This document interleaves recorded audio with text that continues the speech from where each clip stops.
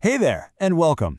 Today, we're going to pull back the curtain on something that's quietly saving lives every single day. We're talking about the hidden language of healthcare, the science that turns a sea of numbers into real, life-saving action. I mean, think about it. How do we really know if a new vaccine is doing its job? Or if infection rates are actually going up or down in your community? These are huge questions, right? Lives are on the line. And the answers, well, they aren't just guesses. They're hidden in data. But here's the thing. Raw data on its own just looks like this. It's a total jumble of numbers. It's just noise, really. These figures don't tell us a thing. So to turn all this chaos into actual knowledge, we need a special kind of translator. And that gets us to the heart of the challenge we're facing. We are absolutely surrounded by health data, from hospital charts to huge clinical trials. It's a tidal wave of information. So that's the big problem, isn't it? We're practically drowning in data, but just having data isn't the same as understanding what it means. So how do we build that bridge from just information to actual insight? You know, the kind of insight that leads to making smarter decisions that can save lives. Well, this is where the hero of our story comes in. There's an entire field that's designed to speak this language of numbers and tell us what it's all trying to say. And that hero is biostatistics. You can kind of think of it like the grammar for medical science. It's the set of rules and tools that lets us collect data the right way, analyze it properly, and most importantly, interpret what it all means. It's the magic that turns that mess of numbers we saw into clear, confident conclusions. So what's really cool is that biostatistics basically does two main jobs. First, it helps us make sense of the data we're looking at right now. And second, it lets us make really smart predictions about the data we don't have, about the bigger picture. Let's break that down, starting with the first one. All right, so job number one, describing what we see. This is all about taking the information we have in front of us and just getting it organized. This side of things is called descriptive statistics. And its name says it all. Its only goal is to describe and summarize the data you have.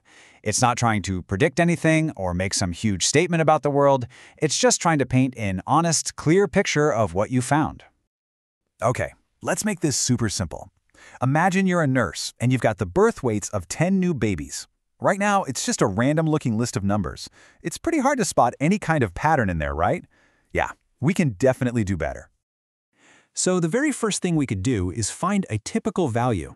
We just calculate the average, or the mean, and bam, we get 3.05 kilograms. Instantly, that one single number gives you a much better feel for the whole group than that long list ever could.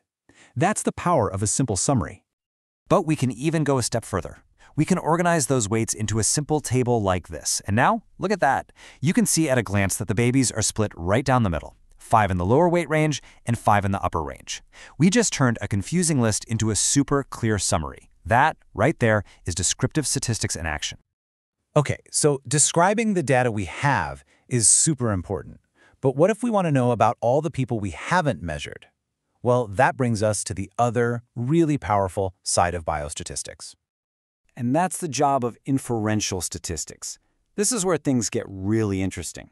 It's where we take a small, manageable group, we call that a sample, and we use it to make this intelligent leap, to infer what's true for an entire population.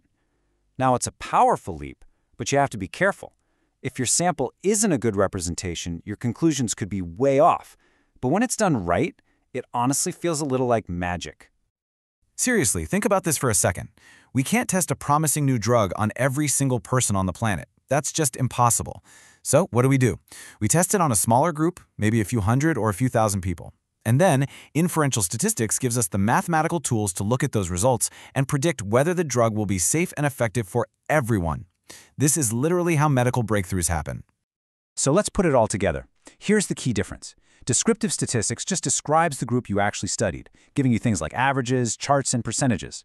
Inferential statistics takes that information and makes an educated guess about the giant group you didn't study. It uses special tools like p-values to tell us how confident we can be that our findings are real and not just some random fluke. They're two different jobs, but they work hand in hand. Okay, so we've got these incredible tools to describe and predict, but let's get to the bottom line. So what? How does all this math and theory actually translate into saving people's lives? Well, the truth is, biostatistics is the invisible backbone of just about every health field you can think of. A midwife uses it to understand risks by looking at birth weights. A public health expert uses it to track a pandemic. A pharmacist uses it to prove a new drug actually works. It is everywhere, working silently in the background, guiding the critical decisions that affect all of our health.